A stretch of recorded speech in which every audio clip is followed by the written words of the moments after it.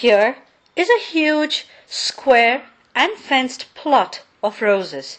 It contains over one hundred and fifty varieties of these flowers, and exhibits as many shades as possible under the sun.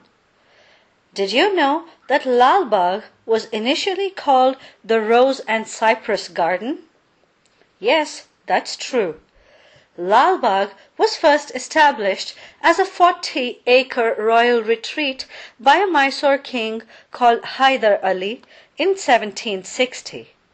It was initially called the Rose and Cypress Garden till 1856 and was landscaped to mirror paradise on earth.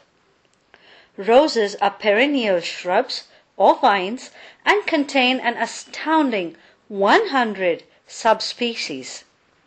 Originally natives to the Asian and Mediterranean regions of the world, today roses are popular everywhere, and the beautiful red rose is the universal symbol of love. Horticulturists broadly categorize roses as wild, old garden, and modern garden. While the rose flower is a symbol of beauty and an integral element of every bouquet, other parts of the plant are also widely consumed or processed. For instance, Indians use rose petals to prepare sweets and Ayurvedic medicines. Gulkand, a sweet paste made from rose petals, is a dessert and a popular ingredient in Ayurvedic medicines.